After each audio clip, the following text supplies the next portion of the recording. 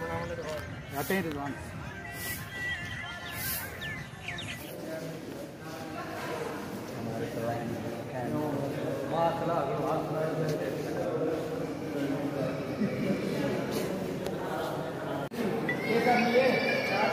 थले थले आई भाई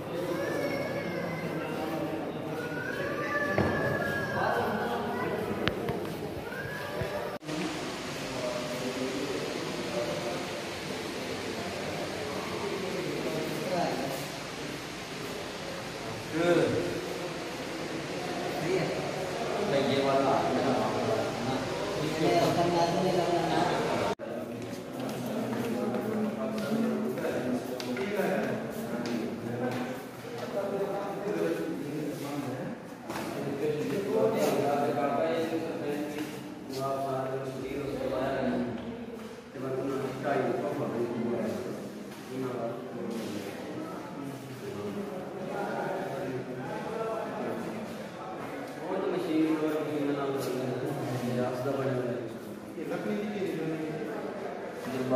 जी अस्सलाम वालेकुम वालेकुम अस्सलाम वरहमतुल्लाहि वबरकातुहू। जी आप कहाँ से तशरीफ़ लाए हैं? आज नूर महल देखने का जो आपको मौका मिला है तो कैसा लगा है आपको यहाँ पर आके? जी भाई मैं खानेवाल से तशरीफ़ लाया हूँ अड्डा जंगल मडियाला से।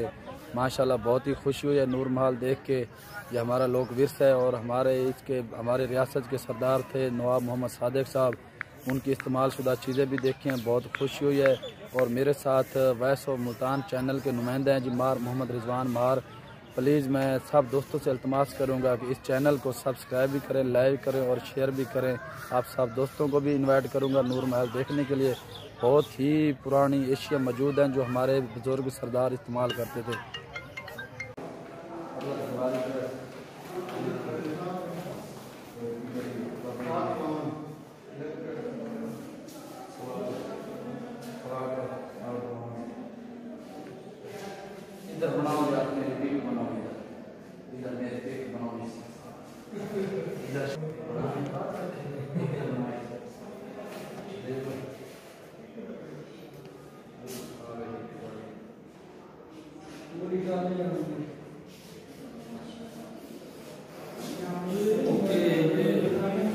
કે યાર ઢોલકિયા બનાવવા લાગે હો કે કરે ફે દુનિયા બનાવવા બનાવવા ને ઠીક તું જા આડી બના 20 30 સેકન્ડાਂ ਦੀ ਬਣਾ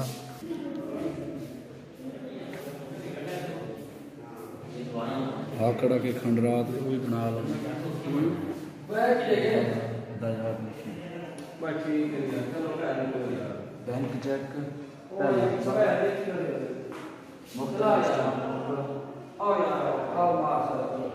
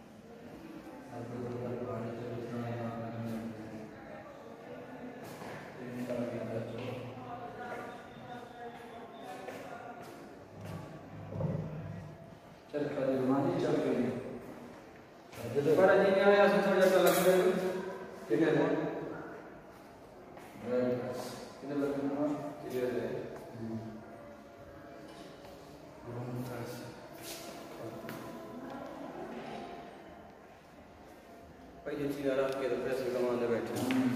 लेकिन एक उन्हें भला फौजी ने तो गवर्नमेंट नहीं सकते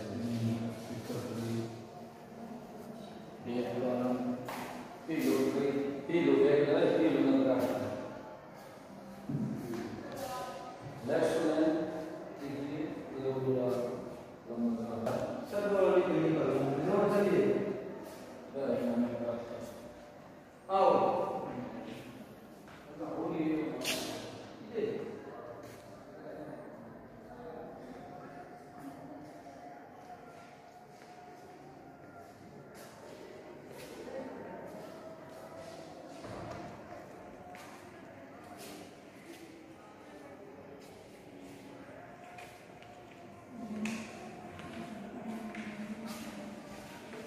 तो फ़ोटो ना बना वीडियो बना दो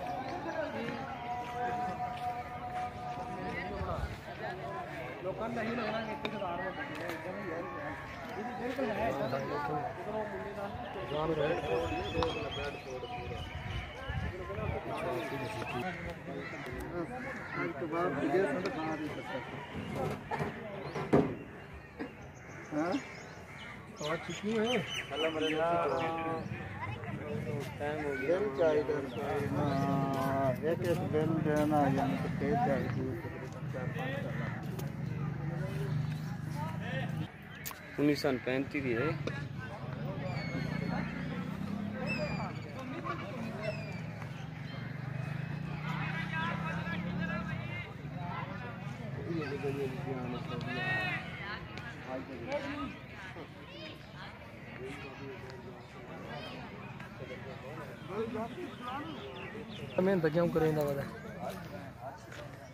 मेरी बना ना मैं यहाँ नूर महल हुए ये देखें जी हम आए हुए हैं नूर महल तो हमने सोचा कि सब दोस्तों को दिखा दें जो नहीं आ सकते वो भी देख लें और जो ख्वाहिश रखते हैं तो वो जल्द अज जल्द आ जाएँ क्योंकि भाई कह रहे थे थोड़े दिनों तक बंद हो जाएगा कोरोना की वजह से तो ये है नूर महल दिखा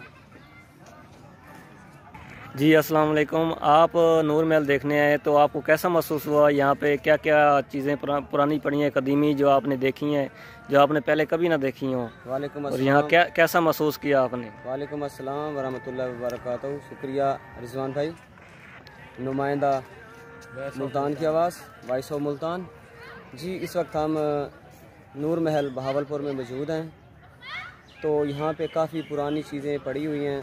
नवाब और सादिक की और उससे मिली जुली अशिया उनकी समाजशुदा शुदा गाड़ी कपड़े उनके फ़ौज की वर्दी यूनिफाम तो आप लोगों से भी गुजारिश है कि आप लोग जिन्होंने इसका विज़िट नहीं किया वो विज़िट ज़रूर करें।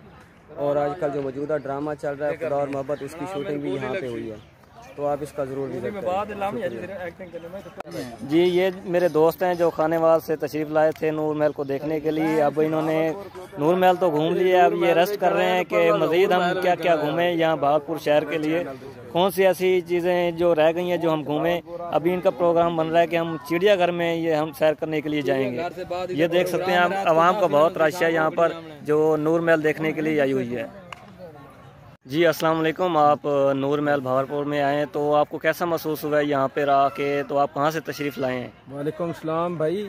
माशाल्लाह, बहुत अच्छी लोकेशन है, खूबसूरत है, हमारा लोक विरसा है। हम खनवाल से तशरीफ़ लाए हैं। तो बाकी जो भी दोस्त आए मेरी उनसे गुजारिश है, थोड़ा कोविड के बारे में भी ख्याल रखें, क्योंकि सूरत बेहतर है, लेकिन हम ये नहीं कह सकते कि कोरोना से हमारी जान छूट गई है। तो कोशिश करें मास्क वगैरह और सैनिटाइज़र का इस वक्त हुकूमत बहुत ज़्यादा सख्तियों की जानब जा रही है तो आप आवाम को क्या मैसेज देंगे कि वो कोरोना के हवाले से एहतियाती तदबीर इख्तियार करें? जी भाई हुकूमत कोई भी हो वो अपनी आवाम के लिए खैर खा होती है। जो हकूमत जो भी सख्तियाँ या जो भी हमारे लिए कानून वगैरह बना रही वो हमारे लिए ही हैं क्योंकि आवाम की जान माल उनके ज़िम्मे तो दोस्तों से मैं एक बार फिर रिक्वेस्ट करता हूँ कि अपना मास्क लाजमी पहने और जितना भी हो थोड़ा सा दूरी इख्तियार करें एक दूसरे से और मेल जोल से थोड़ा परहेज़ करें क्योंकि हालात बेहतर हुए हैं ना कि कोरोना ख़त्म हुई है। आपके सामने कराची के हालात उधर फिर लॉकडाउन हो गया तकरीबन आठ अगस्त तक। बहुत शुक्रिया जनाब।